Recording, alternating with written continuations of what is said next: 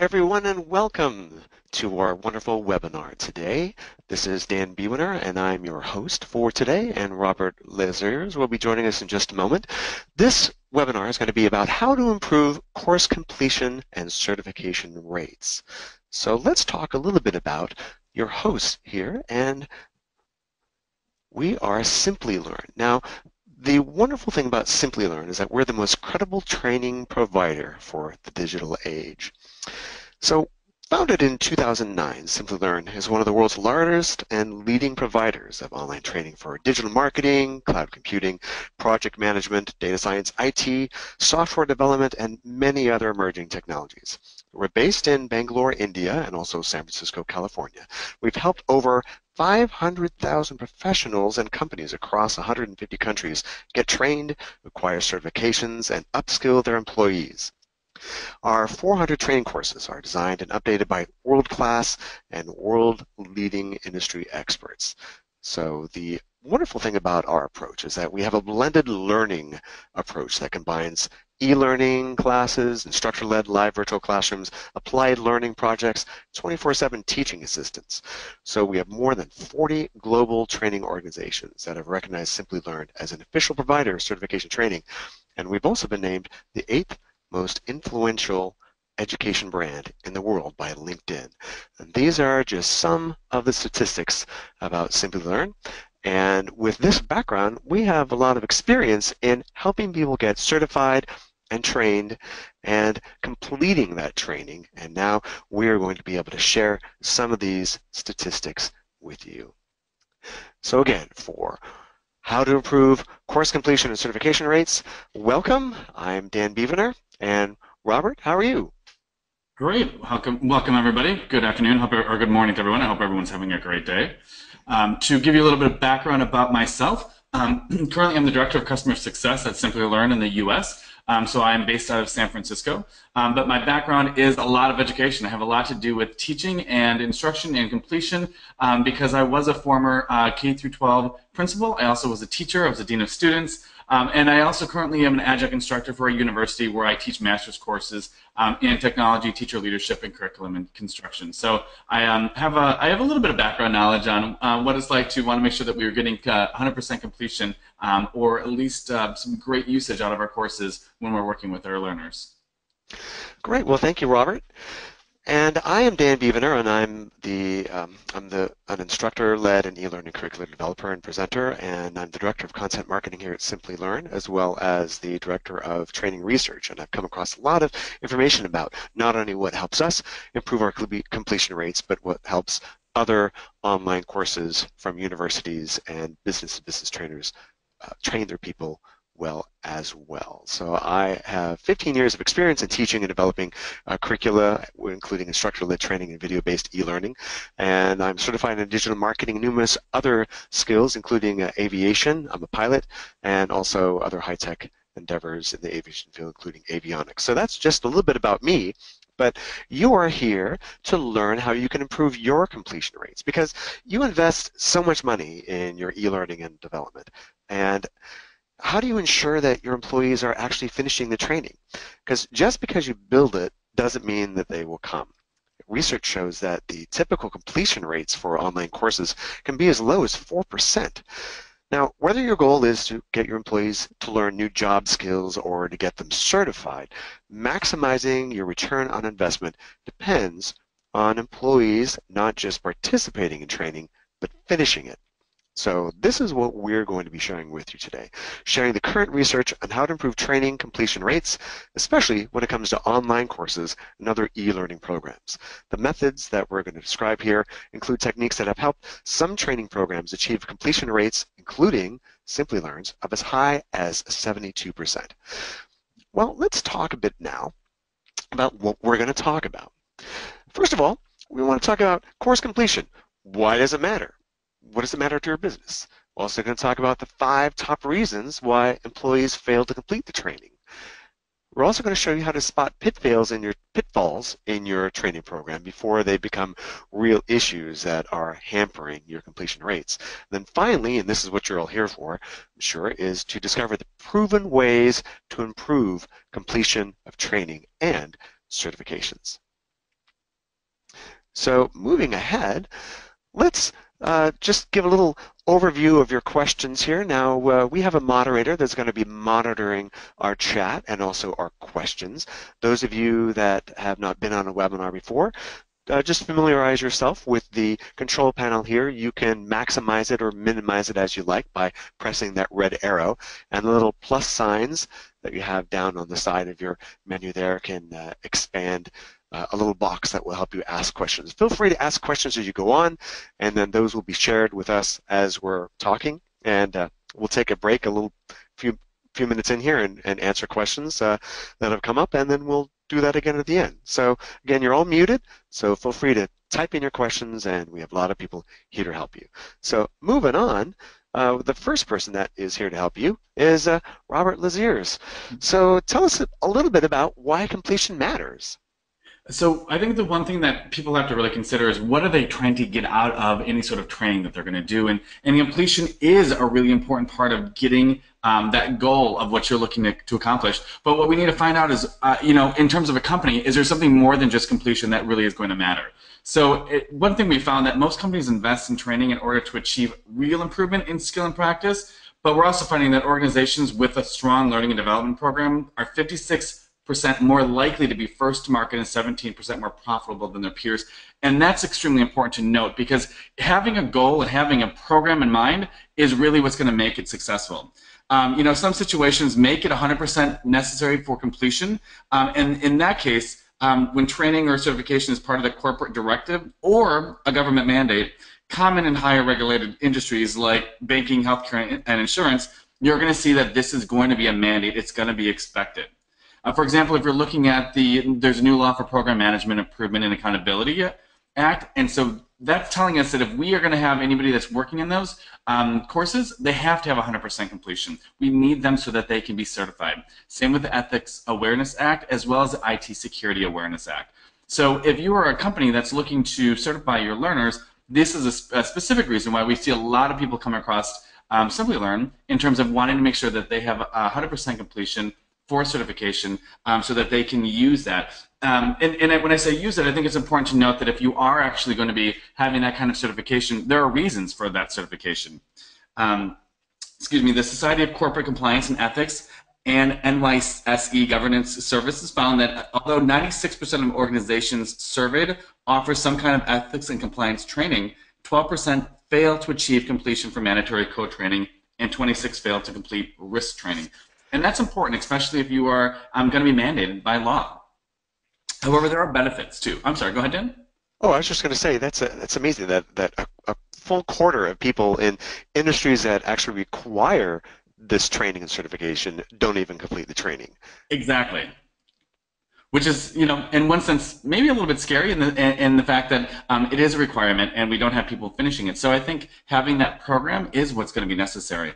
But to be honest with you, Dan, outside of just making sure that your your learners are getting certified for the, let's say, the law for it, um, there are a ton of other benefits to making sure that your uh, learners are certified. For example, it's going to validate your employees' expertise to coworkers and customers, and I think that's important to be able to highlight. You have X number of uh, learners that are certified in, let's say, program management or ethics awareness. I think that's really important. And it also, you know, in reality, can increase potential company revenue um, by justifying to the client a higher billing rate because they have so many people that are certified.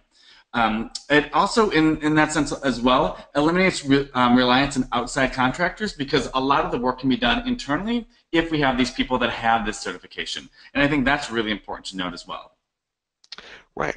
That's a great point. Now, what's funny about that is that just because companies meet the completion and certification directives, now there's no guarantee that employees will actually remember and apply what they've learned to the job. And I know this is particularly true if the training is acquired hastily.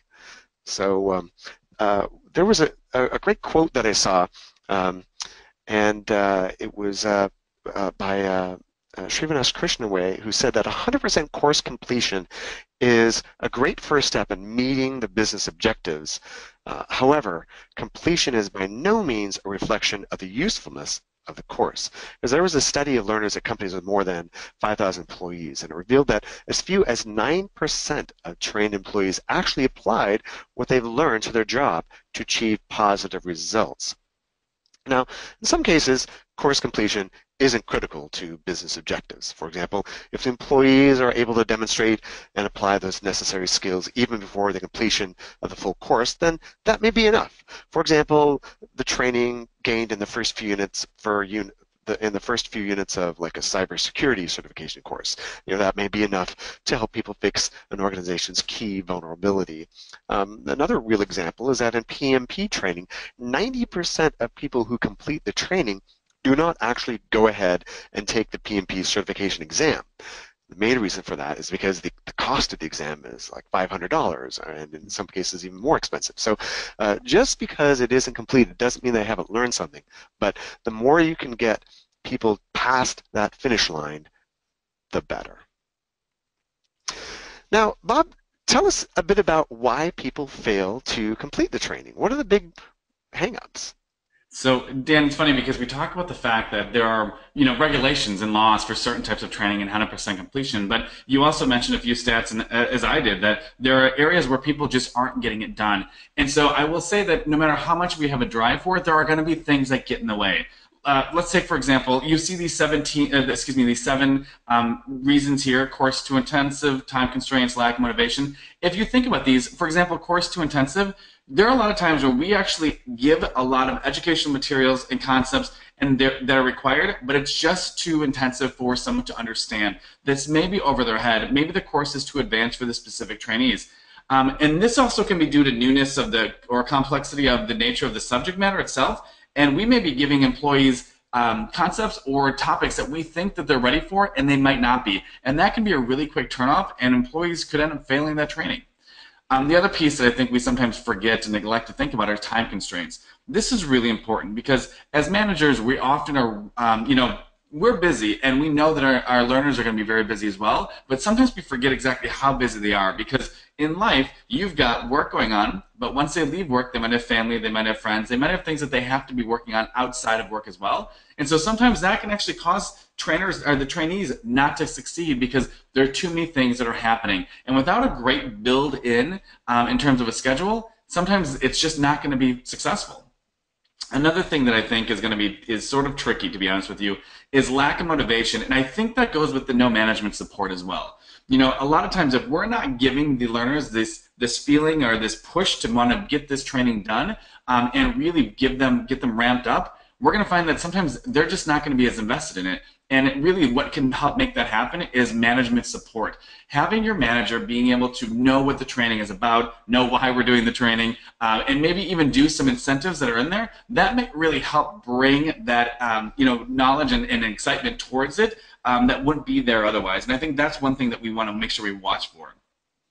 Um, the rest of them is things like technology downtime we can't always control but we have to consider right? Sometimes we lose wi-fi if we're working on e-learning um, and those things are important as well as poor course design. Occasionally we'll have learners jump into something that um, hasn't quite been vetted well and then that's the case uh, we can actually be giving them a really negative experience and, and really turn them off because the course itself may not be in um, you know may, may not actually be suited for them at any at any point. Um, and the last one Dan, I'm not gonna lie, kind of is the most common yet and my most favorite comment about it. Uh-huh. It's uh, forgot about the course, and I hate to say it, but there's a million things that people are doing, so sometimes they do. Wow, yeah, that's true, and I hear that most people the only the only type of management support that they get is an email reminder, and 71% of the time, that the only thing that prompts people to complete the training is they get an email saying time to train or did you finish your training while those are helpful, yeah, exactly. While those are helpful, sometimes they, they get pushed to the bottom of the pile because time constraints and things like that that uh, happen on a daily job, and so they really do just sometimes forget about it, unfortunately. Yeah. Well, when those things happen, uh, it's important to recognize uh, when they're when those problems are coming down the pike. And so let's talk a bit about how to spot those problems before they really impact your training. Now, the surprising thing about poor completion rates is that they very often come as a surprise. The ongoing nature of training provides many con continuous opportunities to recognize these issues uh, in time to get the employees training back on track. Now, one of the ways you can do this is to get periodic feedback during the course. If you want to know how employees are taking to the training, just ask them. Those of you that are familiar with the uh, the Kirkpatrick scale, it's a four-level scale of, of measuring the, uh, the way of measuring the effectiveness of the training. The very first level is to ask the employees, ask the trainees how the training is going. Now, um, the best way to do these is you can do them from surveys or brief questionnaires. You can just have informal conversations uh, by the water cooler, or you can actually have short interviews with participants and get down to the root of how the training is going. And this really kind of helps you determine the quality of the instructor, the quality of the material, get, get a good idea of uh, at the very surface level of the training quality. If you want to get more serious, some people with large companies actually have focus group sessions with all the participants together at once to get an idea of the course before they invest too much time going through something that may be having a problem such as, uh, and th this is where you can get an early pulse on such things as equipment problems, maybe the people are having bandwidth resources or if they're having to work at home, they may not have the same type of computer hardware that is enabling them to, to do the e-learning, and you can solve those problems, nip that in the bud. And the way to do that is get feedback at the front.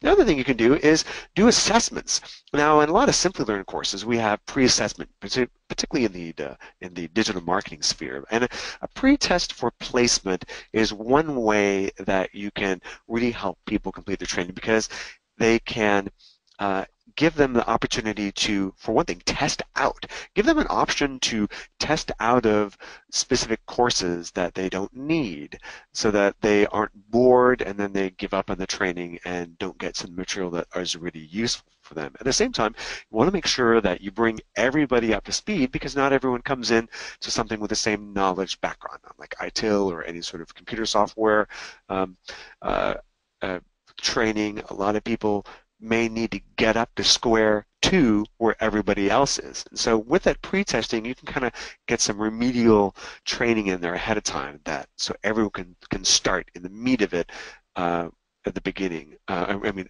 start in the meat of it together. And this is really useful, particularly if you're doing anything like a live virtual class or particularly instructor-led classroom training that's uh, uh, on the, it takes a large investment and you want to make sure that you're maximizing uh, everyone's participation in their class so that everyone's up to speed uh, at the at the beginning. And the other way you can do that is through intermediate quizzes. As they're taking the training, give them a quiz and find out, you know, how are you doing? And um, what's interesting is that uh, that pre-assessment does more than provide companies with an honest snapshot of their team's actual skills beforehand. Um, it actually provides a comparative tool to measure training results and then point out any needs for remedial refresher training. So about the quizzes, those are great because they can even improve learners' long-term recollection and retention of the material. The other thing you can do to help with completion rates is to monitor the training as it's going on with dashboards. Now, the best training solutions include or integrate with the Learning Management System, or LMS. A good LMS includes dashboards that allow managers and trainees to see the assigned and completed training modules, measure that progress towards their goal, and to exchange feedback about the course as it's going on. The tools like the LMS dashboards and custom portals also enable managers to monitor who's advancing through the training and who's lagging behind. An LMS can show you like when the learners have last logged on or when they've posted a contribution or maybe completed a quiz. It's nice because it lets managers report to executives on the effectiveness of the training even while it's underway. So you don't need to do a, a measurement right at the end. You can say, hey, if this is how it's going and it eliminates the unwelcome surprises and continuously motivates your learners, which is really important, is it addresses that motivation aspect that we just talked about, and it improves completion and certification rates by monitoring and motivation. So, so now let's talk a bit about how to actually improve certification. This is where you should all be taking notes because this is, uh, um, by the way, the taking note part, this recorded webinar will be shared with everyone who's attending. So we will also have the slide deck to review these details and we have a nice white paper that we can send afterwards to just sum up all these great techniques. So Bob, let's dive in to how to improve these completion rates. Sure. First of all, when it comes to keeping it short, split it up, the key word is going to be chunking.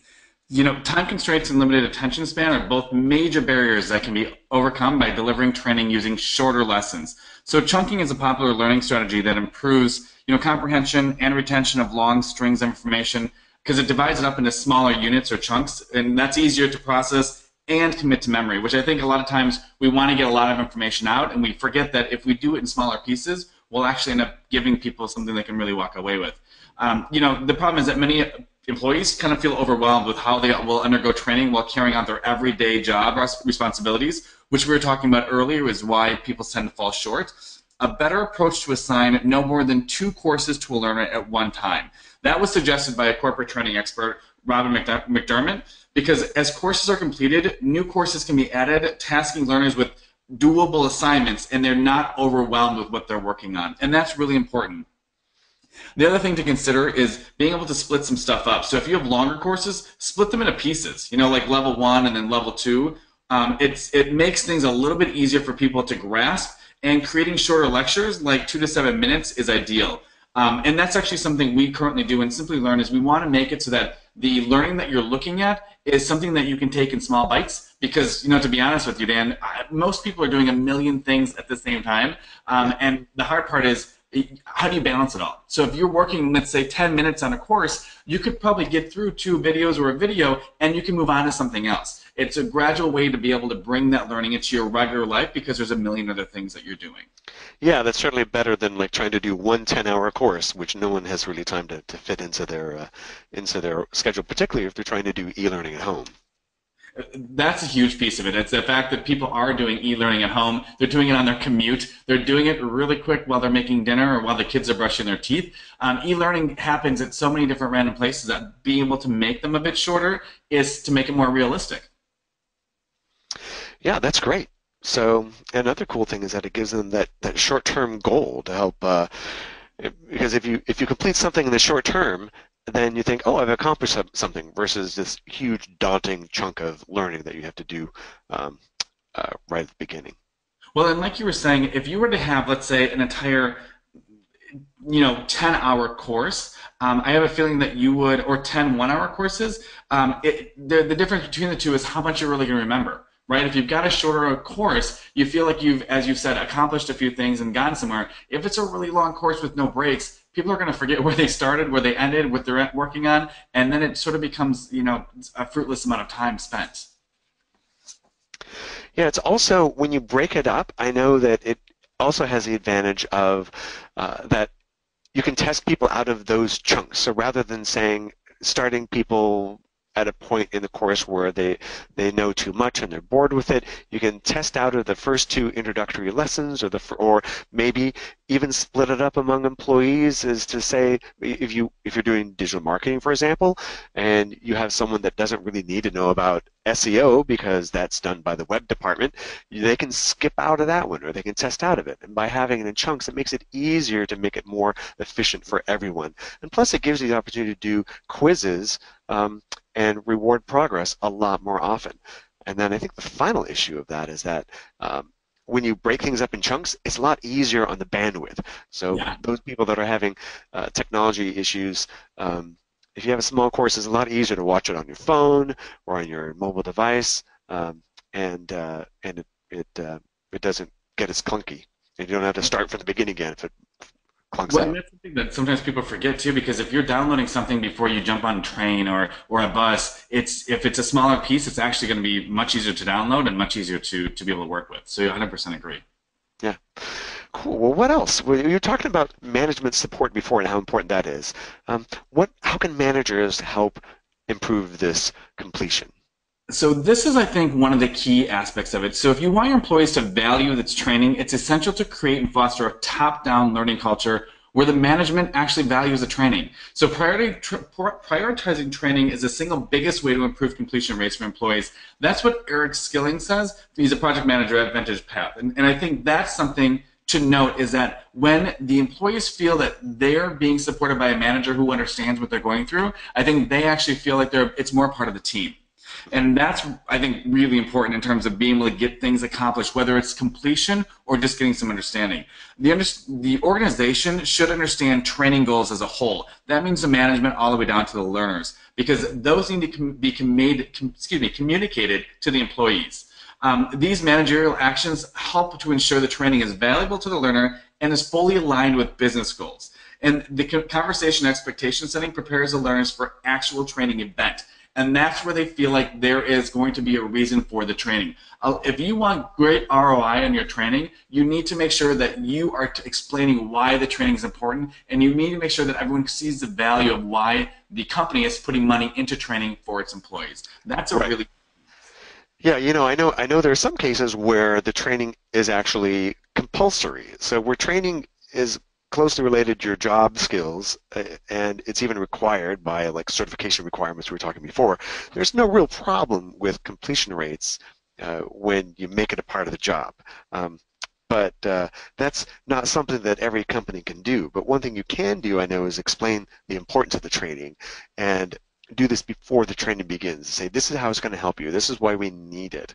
And, uh, and also just tell them what they can expect to learn from the course and, and how it's going to help them in their daily job performance too. Um, what's another thing managers can help do to uh, make it easy?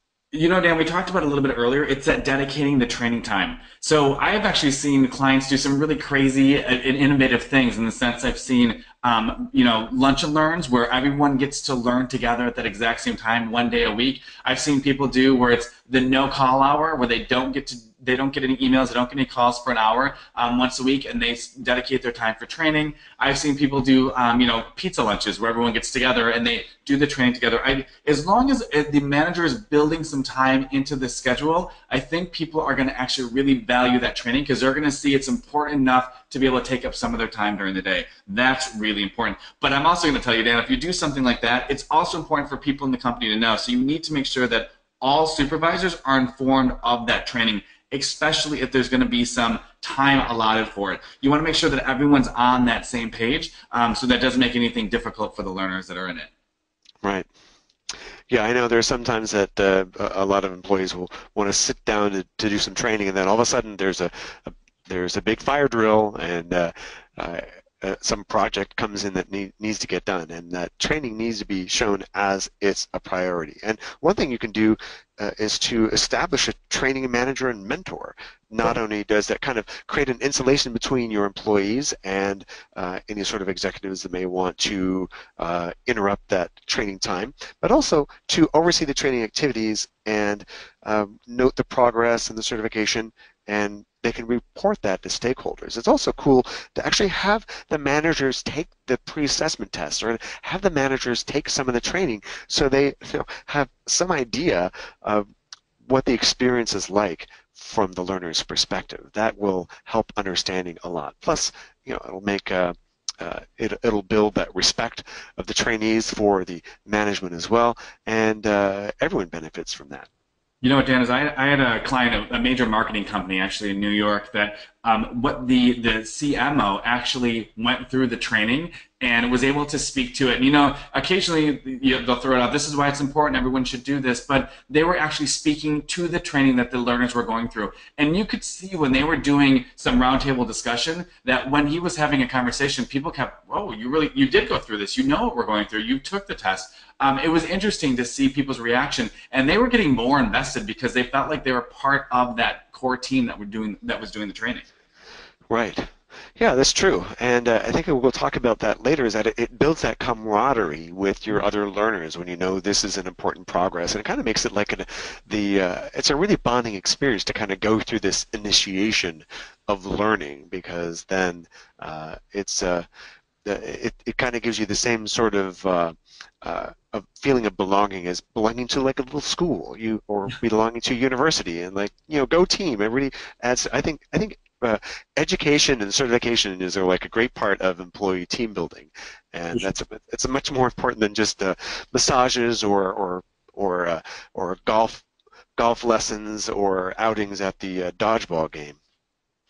Well, and you know what? Eh, you sort of bring up, you bring up a really great point too, because um, it's really great for the managers to start to recognize the the learners for their training and their progress. And I think we, you know, often get wrapped up in all these projects and trying to get things done by deadlines, but sometimes we forget that our learners are there and we need to acknowledge the work that they're doing and that's really important and so i think being able to give them that virtual pat on the back to say hey you did a great job you've completed this lesson you completed this course whatever that might look like is important to do and you know, in some respects, you can also even tie it to their individual goals or KPIs by being able to say these are the things that we'd like to have accomplished in this given amount of time, whether it's an annual review or anything like that. By being able to do those virtual pats on the back as you're going through the courses, it really does help come to a, a, a larger summation that when you're doing your um, annual review.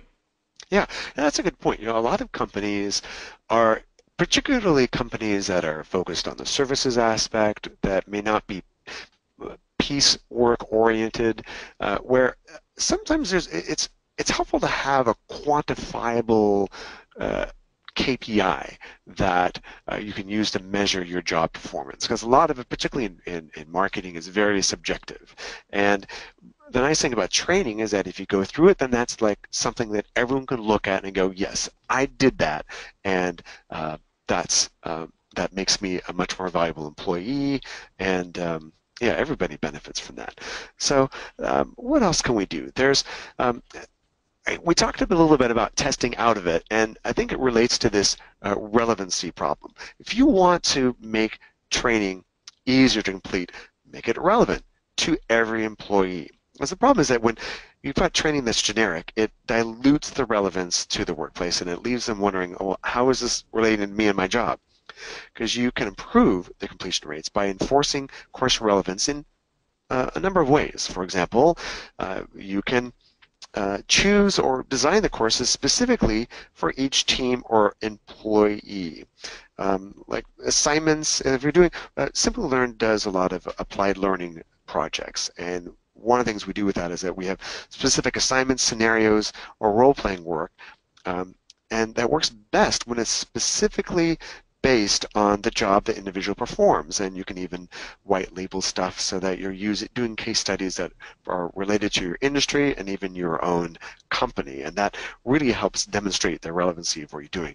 Uh, pre-assessments also help demonstrate the uh, the knowledge gaps and remind people, oh, uh, maybe I don't know it all. Maybe I I am lacking some cybersecurity uh, education here.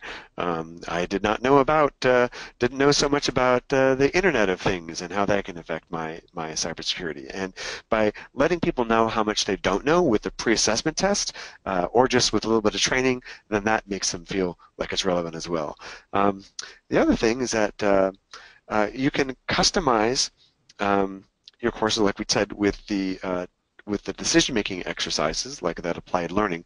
But even more so, you can you can actually schedule these e-learning courses to coincide with projects that employees are doing so that you can give the training right before they will actually use those new skills on the job.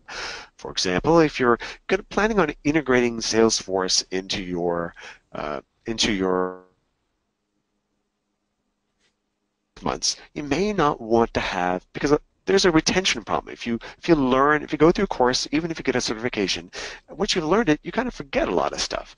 If you, especially if you haven't put it right to work. So one of the best things you can do to make your training relevant is to time it as close to when you're going to need the skills as possible. Because if you have everyone go through Salesforce training and then you don't bring Salesforce on board for six or nine months, then by the time they get to it, um, two things have happened. They, most people have forgotten about it, and second of all, Salesforce has added some features that may not have been covered in the original course. I mean, that's one of the nice nice things about Simplilearn courses that our course experts actually continually renew the courses and keep it fresh. So that's uh, I think that can help the relevancy a lot as well. Well, to piggyback off of that too, Dan, I think it's important because if the closer you do it to the training to actual um, projects and things that work, you're doing an application piece, and that's where you really can understand if they're if they're truly learning and applying it to work. And I think that's important. Yeah. So what about uh, making the training social and team oriented? This is my uh, favorite. Yeah, how do you work this? Now you've got this great background because you've been not only doing uh, doing coursework at the university level, but as a as a principal and a, and a, uh, you were a, a math you were a science teacher, weren't you? I was. I was a science teacher, and you know, while I try to keep student in, in attention, you know, between sixth and eighth grade, they're not always super in, in, attentive. So, you know, I occasionally would, you know, blow things up or jump on a table and light things on fire just so I could keep everyone invested in what I was doing. Science. yeah, and it worked out great. It was it was good for their attention span, so I think that was great, important. But I think one thing to note when you're ever you're doing any sort of training, social and team oriented training is so helpful. Live student action always improves student engagement and course completion rates. I'm telling you, it's it's it's the way to do it.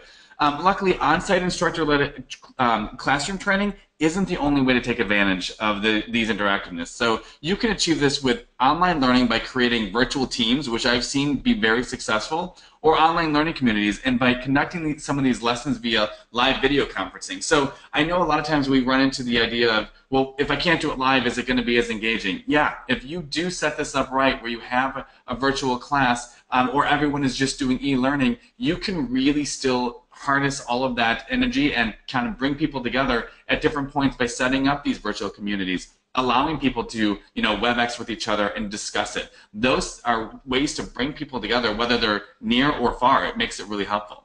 Yeah, we have one question in here. Someone's actually asking, so is there anything to show, like, are there any statistics that can demonstrate that working in virtual teams is any more effective than working alone? I mean, has have people looked at this? I would imagine they have. They have actually. There was a study that was done in 2003. Uh, a gentleman named Chuck Eesley, he was an assistant professor at Stanford University. He was able to find that students who worked in virtual teams were actually 16 times more likely to finish it. So that's uh, an impressive number right there. Of the 23,577 students who worked individually, only 2% uh, finished the course. Um, by contrast, of the 2,671 students in teams, 32 graduate, 32% graduated. So the same study showed that completion rates are even greater, 44% for teams that had a virtual mentor present. So yes, having that team orientation really does. There's stats that back it up. Yeah, and you mentioned that mentor thing too. We we kind of touched on that a bit, having a mentor looking over it, even in a virtual way. Uh, we're really asked to that help. And you know what also is sort of helpful, and I, and I hate to say this, and I, I, did this a lot with my students, and I've also seen that as adults, myself as a learner and myself as a teacher, that we find that there's a, a, this buddy system, right? So if I have a friend that is completing something in a course, I actually want to keep up with them. There's a little bit of this like peer pressure to continue to going, but it's also this loyalty because my friend's going to be talking about things that are happening in the course that they're going through. I want to actually be part of that conversation. So that's another great way when you're when you're building this social or team or environment, you can let them actually play off of each other a little bit. Yeah. And you get that, uh, we have that uh, phenomenon here called FOMO, which is a mm-hmm. fear of missing out. And uh, I know that you can um, uh, uh, when when people are motivated by seeing what other people are doing, if they're finishing projects or if they see like certificates or little awards that you can give away to motivate people, they see people uh, getting a little ribbon. I know this one place that. Uh, um, that I work, we actually all went through uh, first aid training, and that became very exciting because we all got to get our little first aid cards, and we got a little first aid patch that we would have, and uh, um, when people would see that, they go, oh, how'd you get that? Oh, I went through the first aid training.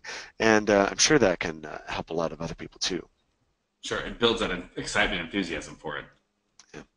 Now, what else can managers do to kind of uh, uh develop that um, that team-oriented, kind of foster that team-oriented energy well, you did mention something when you were talking about the um, your patch and certification. Is if, if, issuing even printed certificates, I've actually seen this done, and I think it is a really great way to sort of build that excitement is I've seen um, certificates by the company be made so that anytime people finished either work within the course or the course itself, they were given certificates to the learners and they would start putting them up in their cubes or their offices. And it's funny to watch how people see which which uh, certificates are up and start working to get those certificates. I mean, it's a really amazing um, feeling to like have everyone want to be able to accomplish what other people are doing. That's important in Simplilearn, we have certificates of completion, and I have seen, I've gone to companies where I've, you know, kind of walked around with the learners and got the chance to meet them, and I've seen Simplilearn certificates up, and I've actually heard people say to me, "Oh, I'm, I'm almost done. I'm going to get mine too," without me even saying anything to it. They just see me look at the certificate, and someone else will comment on it.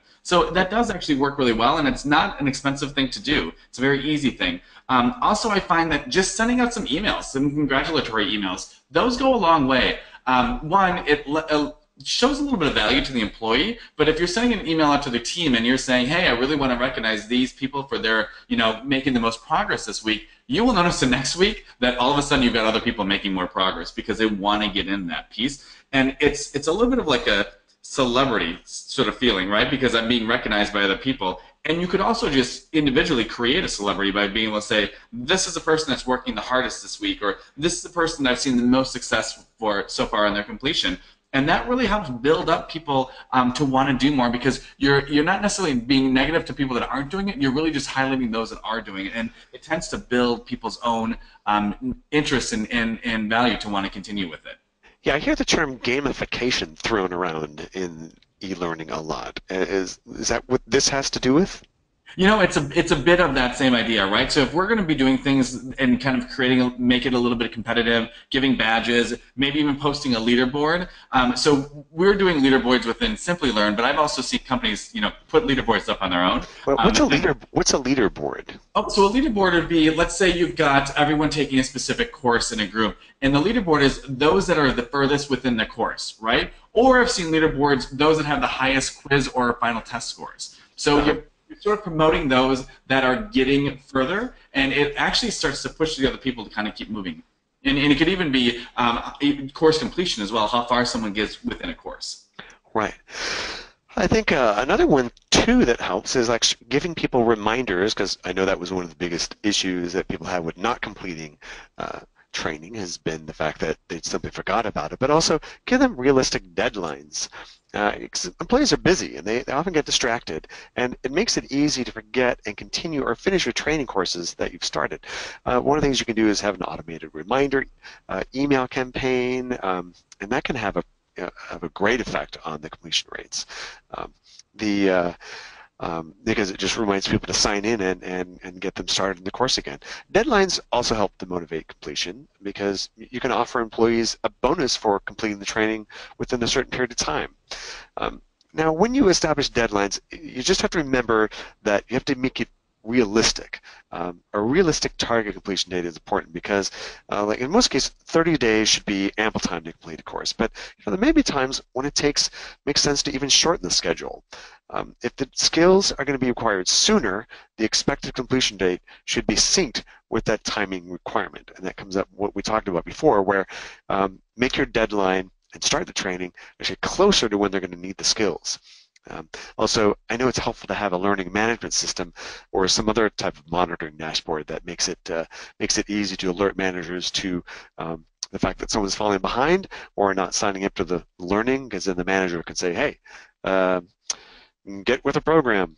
And as the deadline approaches, you can just gently remind employees that having completed it, uh, that the deadline's near, and if necessary, you can grant extensions um, with uh, with proper reason, and uh, you can reflect those extensions uh, um, in the employee's training records, and uh, that kind of helps helps as well.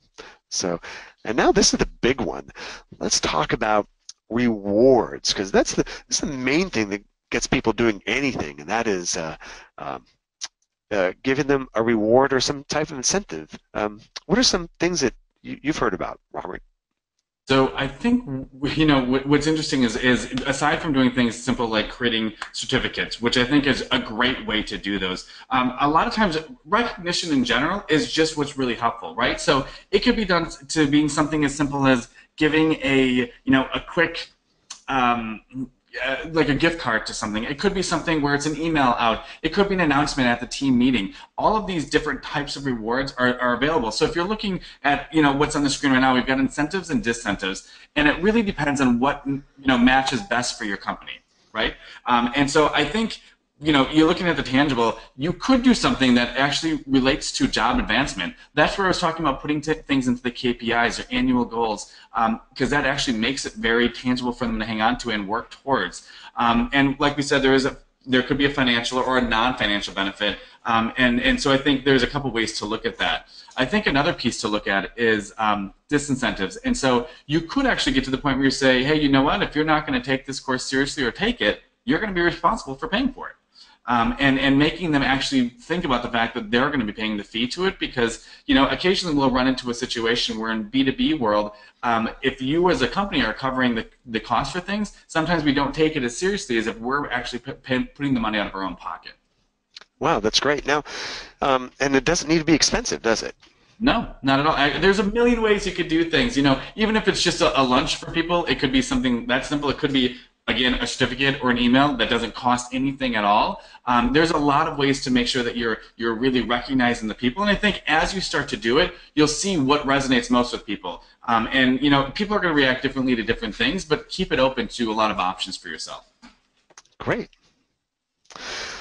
Cool. So uh, let's move on here about now. One thing that I, I kind of want to talk about disincentives here because um, uh, in cases where there, there's kind of a risk of something that's being used as the, the stick. You hear about the carrot and the stick. Um, and uh, you have to recognize that there are drawbacks to, to using more disincentives because mandating training, particularly if the skills learned are outside the scope of the employee's original job, then that can really kind of build some resentment. Um, now, if it's part of their job review, uh, I know experts kind of recommend that you should tell employees that will be looked upon favorably in their review rather than treating it as punishment if they don't. Because the trouble with penalties for less than stellar performance is that they, they often build resentment and result in people taking fewer risks, and that stifles creativity. You don't want that in your business.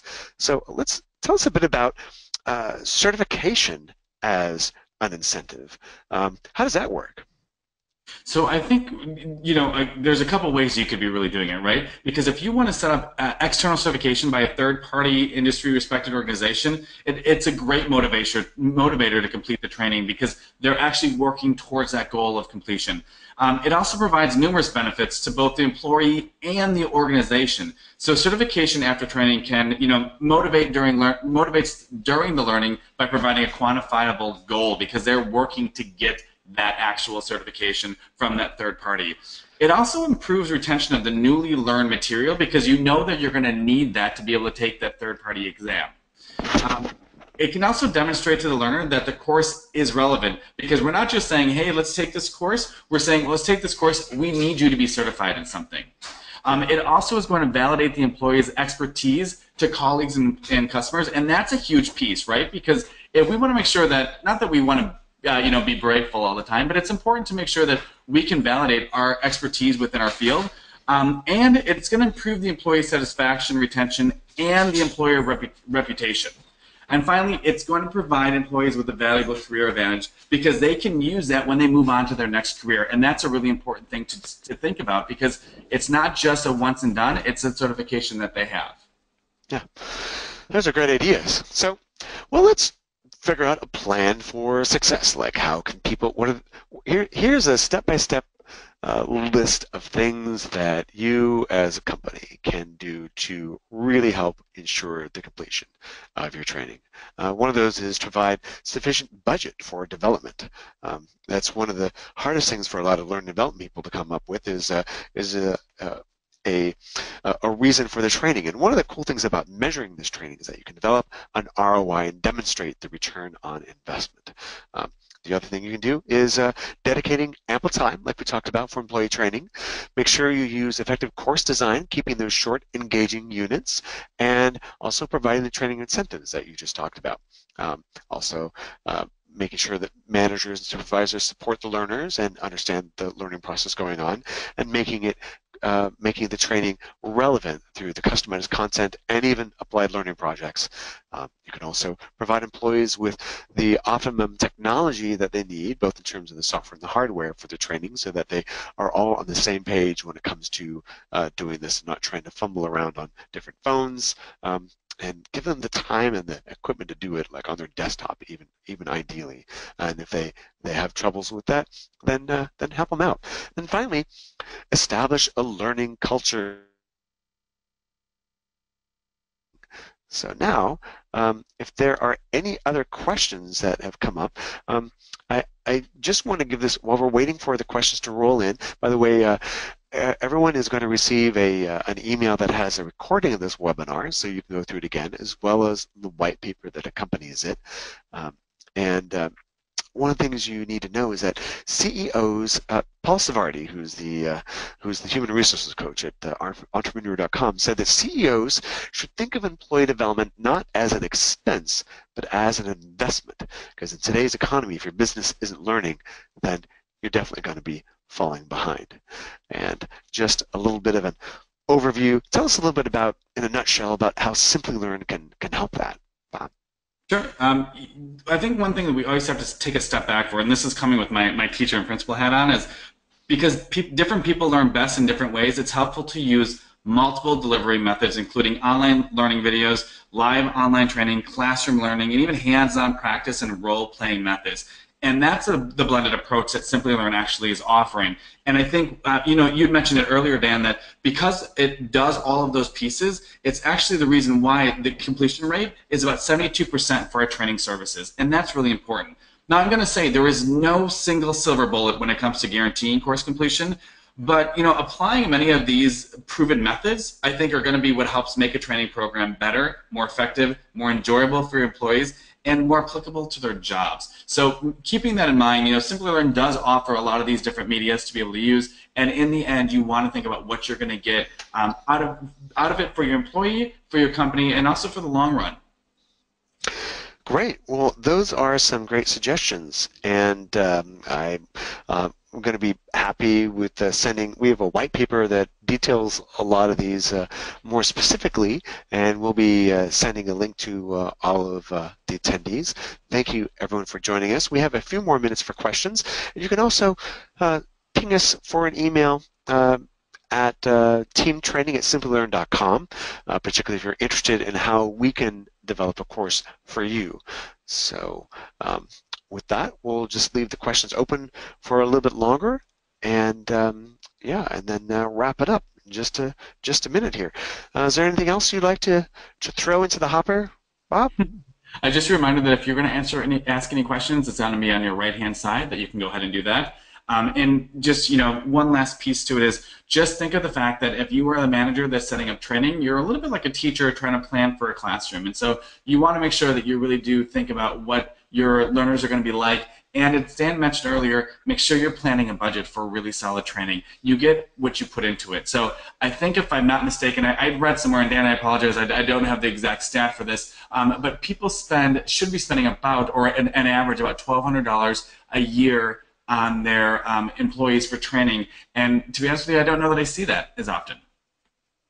Yeah, what's interesting that I saw um, the um, the budget for training is now uh, gone up to, uh, it, it, used to be about uh, $943 per student. Now it's, it's $1,200 per employee. And the, the rise of, uh, of money spent in employee training is actually double the uh, increase rate than the amount of money spent on technology. So people are getting the clue that training is important. And one of the cool things about that training is they're finding that in, in areas where you have a hard time getting employees to do those skills. And that's it's an expensive thing to hire people uh, to do something that you can just train existing employees to do. Because not only when you train an existing employee, that motivates them and that gives them an extra skill, and you don't have to bother with the recruiting cost and and and you don't have to